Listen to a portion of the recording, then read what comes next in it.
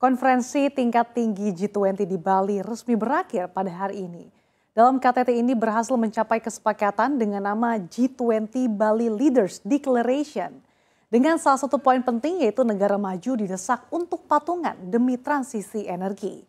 Negara maju diminta untuk menggalang dana hingga 100 miliar dolar Amerika Serikat per tahun atau sekitar 1.556 triliun rupiah per tahun hingga 2025 untuk negara-negara berkembang.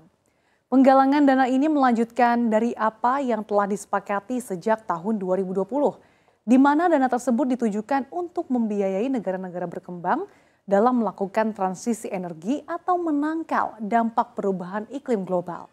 Dalam poin 16 dari G20 Bali Leaders Declaration, kelompok 20 kelompok 20 negara dengan ekonomi terbesar ini mengakui kebutuhan mendesak untuk memperkuat kebijakan dan memobilisasi pembiayaan untuk mengatasi perubahan iklim. Dalam poin deklarasi tersebut, anggota G20 juga menekankan pentingnya transparansi dalam pelaksanaan perjanjian. Sebab pada Fakta Iklim Glasgow juga telah mendesak negara-negara maju untuk setidaknya menggandakan penyediaan pendanaan iklim untuk negara-negara berkembang.